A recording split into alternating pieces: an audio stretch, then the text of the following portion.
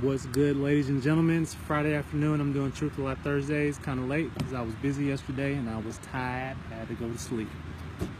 Um, so this is a follow-up question from the last question, and uh, they're basically asking what. You mentioned the law of liberty. I've never heard that before in the wisdom law. I know you gave examples, but how does gravity, har- harvest, and finance fall under the same law?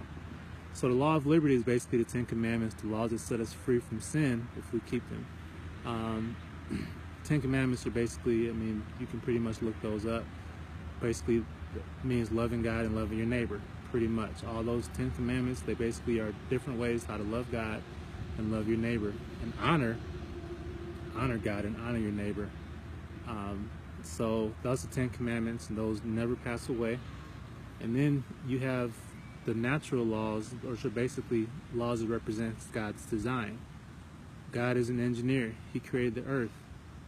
He designed everything. He designed the law of gravity. He designed the law of lift. He designed physics. He designed these trees. He designed the leaves. He designed, you know, seed time and harvest. Those are things that the Bible mentions. Even uh, agricultural laws, laws of work, laws of finance, laws of business. God has designed these laws, laws of economics. God has designed these laws into this planet. And so when you laws of health, uh, certain animals that are designed to clean up the earth and eat poison, you know. So when God says don't eat those animals, it's not because He's trying to send you to hell. You know, it's because that's how He designed things to to work.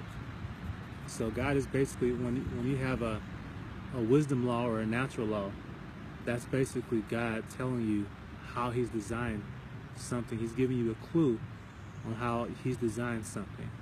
If I'm an engineer and I design a plane and I, and I write the manual and I say, listen, I need you to use this type of gas in this plane, and this is the range that this plane has. You know, He's not going to sue you if you put something different in the gas tank. He's not going to you know, arrest have you arrested. Um, you know, if you decide if you decide to to crash the plane from not following the instructions, and that's kind of how natural laws work. God's not necessarily worried if you don't if you if you rebel against His natural law, you're basically hurting yourself. You know, you're cursing yourself. Um, so that's basically how natural laws work. Hopefully that answers your question.